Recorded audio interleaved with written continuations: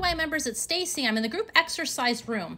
I'm going to work the muscles of the calf today. So I'm going to show you some exercises that are very, very simple to do and they don't really require very much equipment. We're going to be working the gastrocnemius and soleus. They're the two uh, muscles in the calf.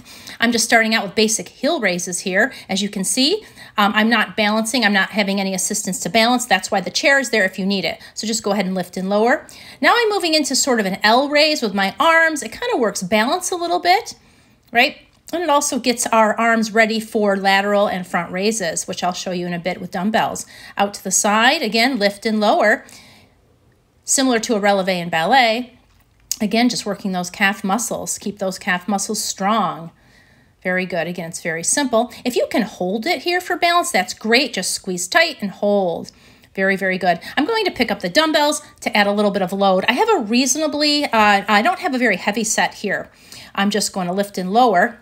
You could go heavier, but it'll make it a little challenging when we do these raises. So you want to make sure you have the right amount so you can handle the front and lateral raise with the dumbbells while doing a calf raise.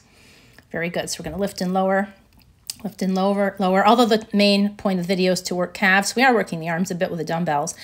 And we're going to hold just a bit here, squeeze, and come down. Very good. These are very simple movements. Good. So now this next one we're going to do, it's a bit more advanced. It's a lot of body weight. So if you're not comfortable on one foot, then I would just give this a balance right there and I would not lift lift and lower. Again, you can just stay put and balance with your foot flat, lift and lower. Again, that's a lot of body weight. You don't want to strain the calf. You want to go real slow. Very good. And you want to switch sides.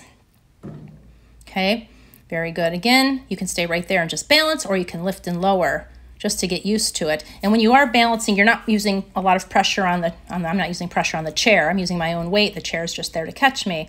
Very good. Now, because we just worked the muscles of the calf, we want to stretch them. So go ahead, give them a stretch, real gentle and slow.